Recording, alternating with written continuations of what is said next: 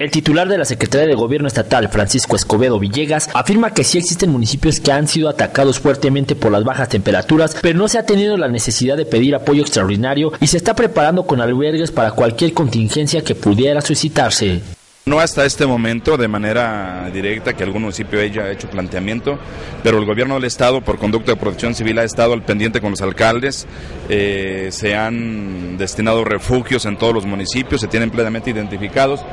Eh, algunos municipios han planteado pues la necesidad de, algunos apoyos, eh, sobre todo con cobertores para mitigar el asunto del frío, de la lluvia, pero especialmente para alguna contingencia mayor, algún daño mayor, afortunadamente no se ha tenido. Son, han sido los del norte, ha sido el municipio de Chalchihuites, ha sido Jiménez del Teul, Valparaíso, Atolinga, los municipios que tienen una mayor altura, que han, han sido azotados con mayor fuerza, sobre todo pues por el frío, en algunas granizadas que ha habido, pero daños que lamentar, algunas pues, situaciones fatales, afortunadamente no hemos tenido. Con imágenes de Marco Méndez para B15 Noticias, Oscar Hernández.